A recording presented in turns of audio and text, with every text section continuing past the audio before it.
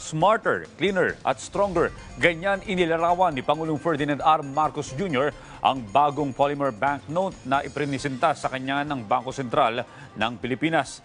Tiniyak naman ng Pangulo na mapupunta sa mga programa at proyekto para sa kapakanan ng mga Pilipino ang pera ng gobyerno. Si Alan Francisco sa detalye, Rise and Shine Alan.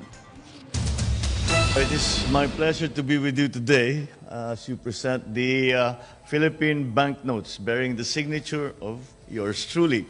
And I suppose that uh, uh, it really truly is official. When your signature is on the banknote, then you, you, there's no getting around it. You have, they have really elected you president.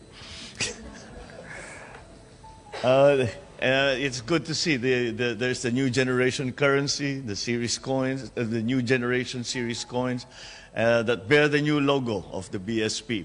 Pinuri ni Pangulong Ferdinand R. Marcos Jr. ang Bangko Sentral ng Pilipinas o BSP sa pagpresenta nito ng Philippine Banknote na may lagda ng presidente at ang bagong coin series na may BSP logo.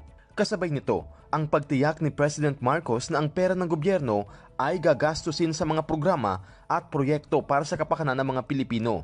Be assured that it is the policy of uh, this administration to ensure that every peso and every centavo that the government spends in its programs and projects will be to the benefit of all Filipinos. Ipinahayag ng Pangulo ang kanyang suporta at tiwala sa mga opisyal ng BSP at sa mga empleyado nito. Nanawagan din ng Presidente sa BSP at iba pang concerned agencies para paigtingin ang kanilang aksyon laban sa counterfeiting at iba pang illegal na aktibidad.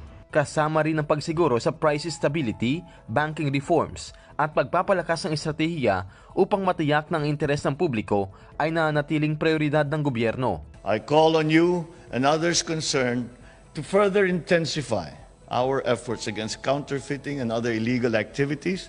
Let us continue to ensure price stability, enrich banking reforms, and sharpen strategies to guarantee that public interest remains at the heart of this government's priorities. Hinikayat din ng Pangulo ang mga Pilipino na magkaroon ng sustainable at smart solutions na magpapaunlad ng kanilang buhay.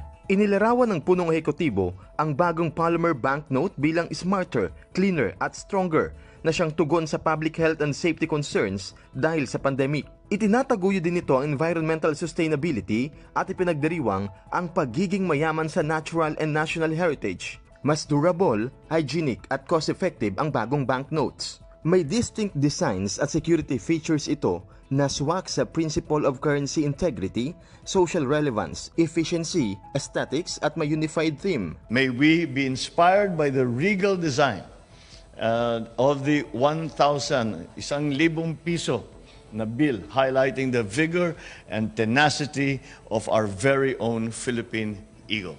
Consistent din ito sa pulisiya ng administrasyon na itaguyod ang sustainability sa pamamagitan ng paggamit ng environment-friendly production. Nanawagan din si Pangulong Marcos kaugnay ng tamang paghawak ng polymer banknotes. It is designed to last longer than the usual currencies, so paper currencies, so that we can have significant savings on printing, distribution, and replacement costs in the long run. Alan Francisco para sa Morning Show ng Bayan, Rise and Shine, Pilipinas.